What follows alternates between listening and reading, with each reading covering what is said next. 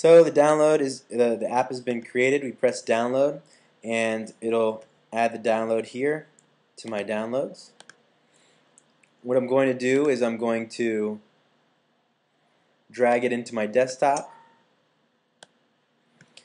and I'm going to unzip it if it's not unzipped already on your system and you can see it creates this icon here which is the .app file.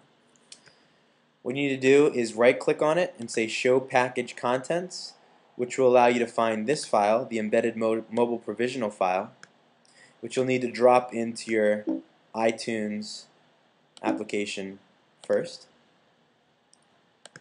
And that basically tells your iTunes application all the information it needs to know to know that you're able to provision your uh, device for testing.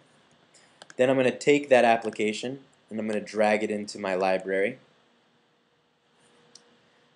It gets added here. It will have no icon because test apps don't have icons. You'll go to your device in iTunes and you're going to right click and press sync.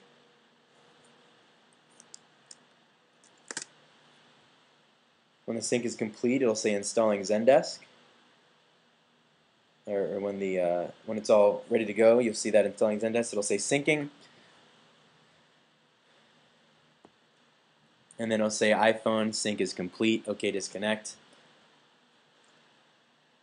And then when you go onto your phone, you'll be able to see the, the, the application you created on your phone.